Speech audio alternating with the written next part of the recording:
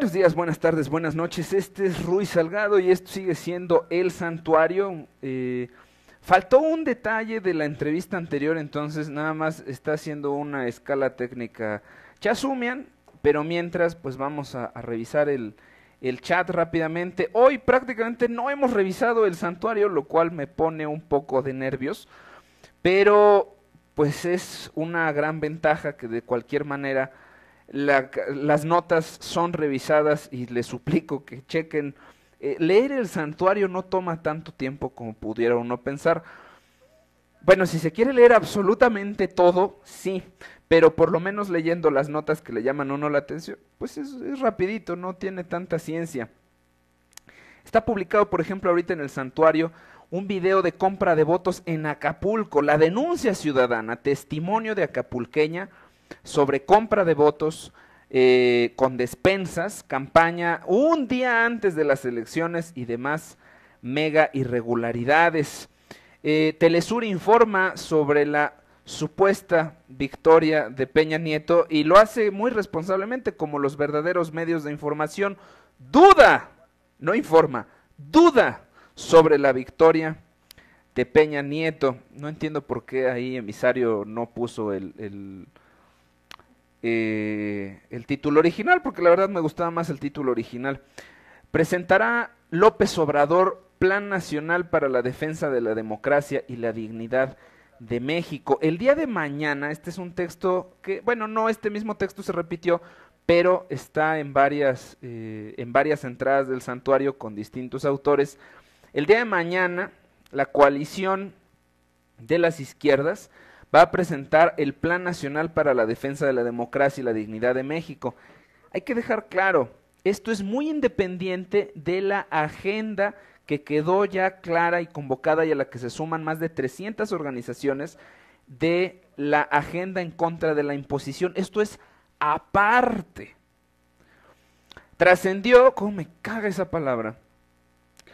Que dicha medida contiene cuatro acciones encaminadas a informar a los ciudadanos sobre la denuncia hecha por los partidos que conforman la Alianza Compromiso por México sobre la compra de votos, así como las violaciones de la Constitución cometidas en los pasados comicios presidenciales. Durante el acto estarán presentes el candidato Andrés Manuel López Obrador, así como el presidente del Partido de la Revolución Democrática y el representante de la coalición el senador del Partido del Trabajo, Ricardo Monreal. La cita es en un salón ubicado en la calle San Luis Potosí, en la colonia Roma. Eh, básicamente, pues en donde ha sido siempre, ¿no? Ahí en, la casa de campaña de López Obrador. Va a ser interesante ver eh, qué tantos, bueno, no se puede sumar por ningún motivo, porque sería abonarse a donde no tiene derecho de hacerlo, no puede estar en, en comunión con ninguna de las acciones que se llegaron, de los acuerdos que se llegaron en la primera convención nacional eh, contra la imposición en San Salvador Atengo. Entonces va a ser muy interesante qué más va a hacer. ¿Quién sabe? Lo veremos mañana. Un video que sí está publicado tres veces ya en el santuario, dos de ellas hoy el militar en descontento por Enrique Peña Nieto en el Zócalo de Veracruz. Nada más acuérdate, por favor, emisario, Zócalo lleva acento, no ponga nunca nada más el, el título del video como está, porque generalmente ya viene con faltas de ortografía. Revísenlo, por favor. Liberan a implicado en violación de menores de madre, pinche Estado de México. Trabajo les cuesta meter a alguien al bote y luego, luego lo sueltan estos malditos eh, retiros espirituales que se hacen en el Estado de México, muchísimos terminan en violaciones, en raptos, en robos. Ah, y ahora liberan a esta. Que, pues bueno, finalmente el, Estado de México. Muchísimas gracias a Marjorie que publica Los Gatitos Santuaristas. Son la neta. El eh, tribunal. Hijo suma, no mames. Ay Dios, no quiero ni leer esto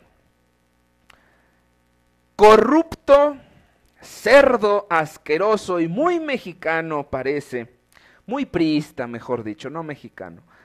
El Tribunal Electoral del Poder Judicial de la Federación, mejor conocido como el Tribunal del PRI, califica las tarjetas para comprar los votos como propaganda válida.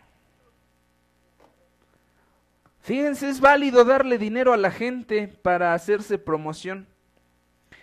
Ya se establece en este momento que por la narcoelección de Michoacán, en, la que ganó el narcotraficante Fausto Vallejo, se vale hacer las publicidades con las tarjetas. Ya no es, ya no es ilegal. Ya se prácticamente con esto el puto tribunal hace legal la compra del voto. De facto eso es lo que está haciendo. De no creerse. Ha de estar cuadri, ¿no? Ya lo han de ver ascendido a magistrado. Esta conclusión ha quedado de manifiesto en diversas sentencias emitidas por este asqueroso, corrupto y mediocre órgano electoral con motivo de solicitudes de anulación de elecciones para gobernador. Las tarjetas o monederos electrónicos distribuidos por los partidos durante las campañas han sido calificados por el asqueroso Tribunal Electoral del Poder Judicial de la Federación como propaganda válida. Se vale comprar el voto, dice el puto trife. Esta conclusión ha quedado de manifiesto, eso ya lo leí, estas tarjetas empleadas para otorgar beneficios como descuentos, llamadas telefónicas gratuitas, acceso a programas sociales de, eh, en caso de que gane el candidato, si no, no, se convirtieron en un tema polémico luego de que el PAN y la coalición del movimiento eh, progresista denunciaran que la Alianza de Compromiso por México, la, Alianza de la Corrupción del PRI y el Verde Ecologista, utilizó monederos de Soriana y Monex con la intención de comprar el voto. Qué pinche asco. Qué pinche asco. Qué, qué, qué, horror. Afortunadamente no es la única prueba, pero con esto ya se echaron al traste una cantidad tremenda de pruebas. Es legal. Así es la, la democracia mexicana. Para el trife es legal comprar los votos. No hay pedo el que tenga más dinero es el que gobierna. Eso es lo que acaba de decir el trife. ¿Y quieren que no salgamos a las calles? Se la van a pelar, pendejos. Así de fácil. es que, esto, ¿cómo puede esto pensarse en un gobierno? ¿Qué tiene de democrático que el pinche gobierno salga con que es legal comprar los votos de la gente? ¿En qué puto país, en qué puto planeta el trife legaliza la compra de votos. No queda más que tomar las calles y tomar muchas acciones que probablemente no van a ser felices a estos corruptos. No sé si ya nos acompañe nuevamente por aquí Chasumian, que tenía por ahí una urgencia, que quiere hacer un agradecimiento más eh, que quedó pendiente. ¿Sí estás por ahí, Chasumian? ¿O ya se nos fue? Ok. Ok. Eh, nos quiere hacer una, un agradecimiento más, bueno, quiere eh, hacer un agradecimiento más, Chasumian, sobre las megamarchas contra la corrupción. Te escuchamos. Sí, básicamente pues es un agradecimiento a todo el pueblo de México, ¿Por qué? Porque realmente el comportamiento durante todas las marchas ha sido ejemplar, realmente ejemplar. Eh, tenemos un saldo prácticamente blanco. No, no, ninguno de los asistentes a las marchas eh, se ha salido de la legalidad y eso es algo de que hay que recalcar y que por lo cual hay que agradecerle todo al pueblo y pedirles que sigamos así. ¿Por qué? Porque eso es lo que va a permitir que este movimiento finalmente, que todo el movimiento nacional, de todos los pequeños movimientos que estamos haciendo esta lucha contra la imposición, sigamos adelante y sigamos creciendo. Pues muchísimas gracias, Chasumian, y con, la, con lo que acabamos de leer, cada vez va a ser más difícil mantener ese saldo blanco, pero cada vez hay más razones para que estas marchas se multipliquen, hay cada vez más razones para que para que sigamos tomando medidas cada vez más fuertes. Es es increíble el trife legalizar la compra de votos. No no lo puedo ni creer. Quisiera decirle a Grisel, dime por favor que es broma, que es quien nos hizo favor de publicarlo en el santuario. Dime que, que es eh, Día de los Santos Inocentes con cinco, como quieran. Ay, güey, ay, güey, pero bueno, vamos a dejar este video aquí. Yo quiero hacer una pausa para dejar también videos para el día de hoy para el otro canal del santuario. Regresamos en 55 segundos.